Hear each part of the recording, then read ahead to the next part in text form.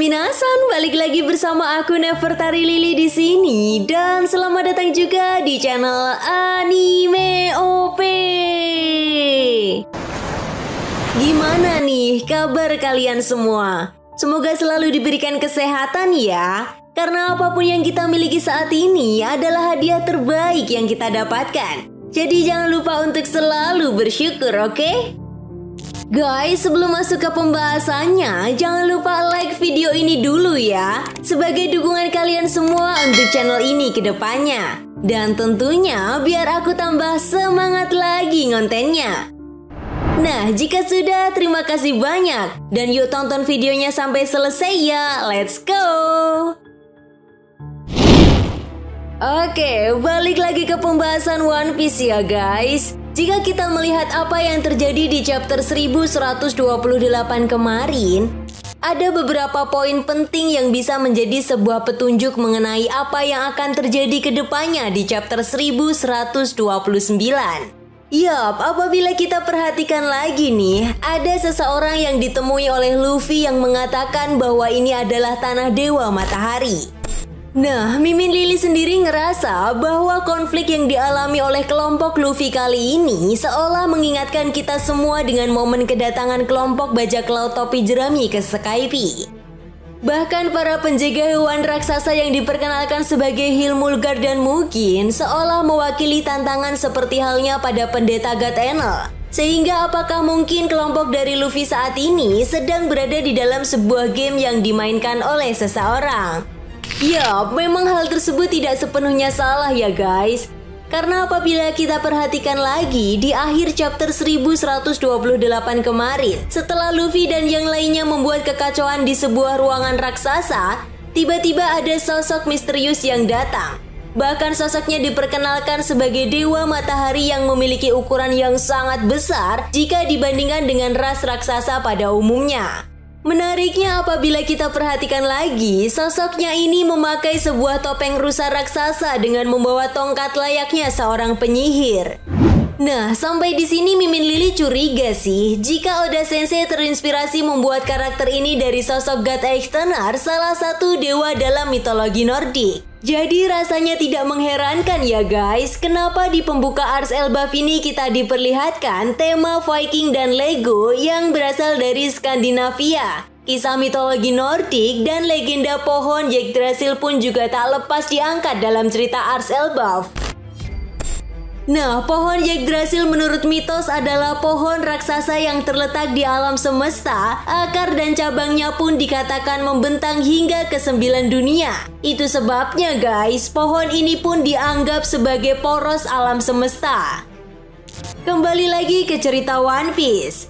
Guys, apabila kita kaitkan dengan apa yang terjadi di chapter 1127 dan chapter 1128 saat para penduduk Tanah Dewa mengatakan jika pohon Yggdrasil terbakar, maka negeri Elbaf akan hancur karena Yggdrasil adalah pusat atau bisa dikatakan sebagai nyawa dari negeri Elbaf. Namun di chapter 1128 kita melihat sebuah fakta yang cukup mengejutkan bahwa sebenarnya tanah dewa matahari hanyalah sebuah diorama dari negeri Elbaf.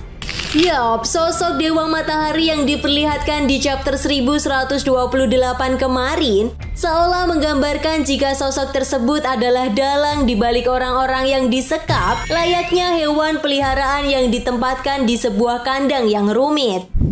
Selain itu, jika kita analisa lagi dari judul chapter 1128 yang berjudul RPG atau role playing game, di mana ini adalah sebuah genre dari sebuah permainan game yang pemainnya menjalankan peran dari suatu karakter. Seolah menjelaskan jika Oda Sensei lagi-lagi terinspirasi dari sebuah game yang berjudul Lucky Heroes of Mythology.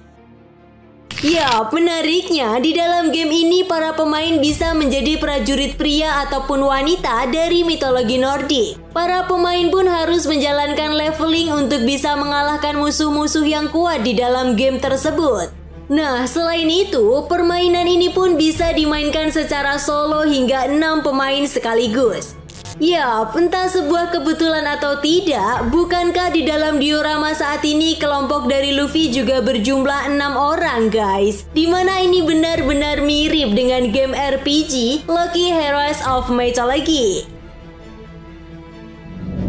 Nah, maka dari itu Mimin Lili yakin sih jika ke depannya nanti kita akan diperlihatkan villain utama yang akan dihadapi oleh kelompok bajak laut topi jerami di Pulau Elbaf. Perlu diingat ya guys, siluet Pangeran Loki dan sosok Dewa Matahari palsu ini sangat berbeda. Dengan kata lain, bisa saja sosok Dewa Matahari palsu itu bukanlah Pangeran Loki, melainkan anak buahnya saja. Jadi sebenarnya Pangeran Loki ini memiliki empat anak buah terkuat yang memainkan peran sebagai empat dewa palsu yaitu Dewa Matahari Palsu, Dewa Hutan Palsu, Dewa Bumi Palsu, dan Dewa Hujan Palsu. Sedangkan Pangeran Loki yang menjadi villain utama di Ars Elbaf kali ini memiliki peran sebagai dewa tertinggi atau bisa dibilang dewanya para dewa. Yup, seperti yang sudah Mimin jelaskan di awal tadi ya guys, Memang Ars Elbaf ini seolah mengingatkan kita pada Ars Skype, di mana representasi Pangeran Loki mirip seperti God Enel yang memiliki empat pendetanya. Selain itu juga guys, kedua Ars ini seolah saling terhubung karena Oda Sensei menghadirkan dewa-dewa dalam cerita di kedua Ars tersebut. Nah, maka dari itu, ke depannya nanti kita akan mendapatkan informasi yang penting tentang dewa-dewa yang ada di dunia One Pice. Dan peran penting apa yang sebenarnya dimiliki oleh para dewa ini saat terjadinya abad kekosongan atau Void Century? Di sisi lain, saat kelompok dari Luffy dikejar oleh sosok Dewa Matahari, Luffy dan yang lainnya terkejut. Tiba-tiba mereka bertemu dengan kelompok dari Kid. Guys, rupanya bajak laut Kid berhasil selamat setelah sebelumnya diserang oleh Shanks. Belum diketahui pasti bagaimana Kid bisa selamat, namun tidak menutup kemungkinan Kid dan kelompok bajak lautnya dibawa oleh Dewa Matahari dan dimasukkan ke dalam kotak diorama Tanah Dewa. Nah, menariknya di momen ini juga kita bisa melihat banyak orang yang terjebak di kotak diorama tersebut. Mulai dari bajak laut, angkatan laut, agen pemerintah dunia, dan orang-orang biasa. Oh iya, kejahatan Pangeran Loki ini sepertinya memang sudah diketahui oleh pemerintah dunia. Namun lagi-lagi pemerintah dunia tidak mengambil tindakan karena seperti yang kita tahu, Pulau Elbaf adalah wilayah teritorial Sang Kaisar Lautan Akagami no. Belum diketahui pasti juga kenapa Pangeran Loki dan para anak buahnya menciptakan diorama Pulau Elbaf dan menaruh orang-orang di dalamnya. Tetapi yang jelas kedatangan kelompok bajak laut topi jerami ke Pulau Elbaf akan membuat kekacauan di dalam kotak diorama Tanah Dewa. Sehingga orang-orang yang berada di dalam kotak tersebut pun bisa keluar dengan bebas. Oke, kayaknya cukup segini dulu ya guys pembahasan kita kali ini tentang analisa apa yang akan terjadi ke depannya di chapter 1129. Sekaligus kejutan apa lagi yang akan diperlihatkan oleh Oda Sensei ke depannya? Nah, jika kalian punya pendapat lain, silahkan tulis pendapat kalian di kolom komentar ya.